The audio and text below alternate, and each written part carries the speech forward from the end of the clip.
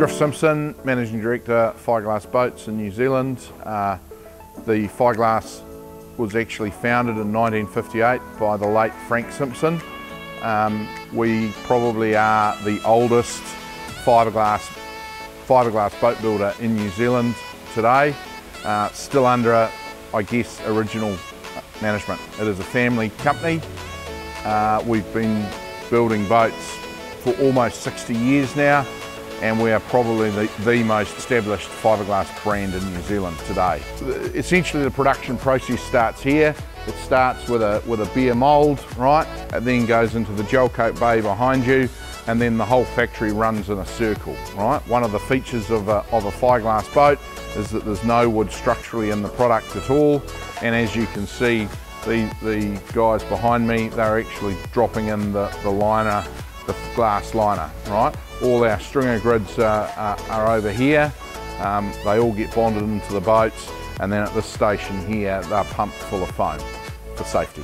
So once the boat is released from the mould, it now comes down our production line.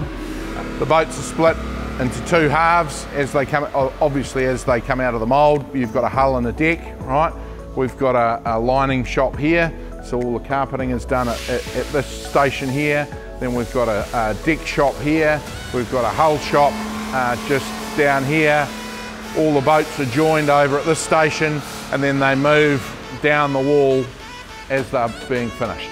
So this is factory three. Once the boats have finished on the production line, they're actually brought in here for their QA checks, right? Ready for shipping. Also in factory three, we have our own custom contract upholsterer, right?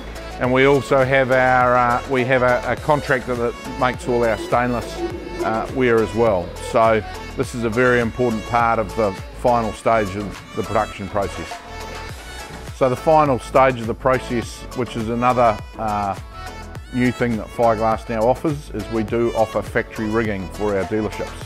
So uh, what, what that means for the customer is that the boat is rigged in the factory, it is tested, the prop selection is correct, or everything is flush mounted.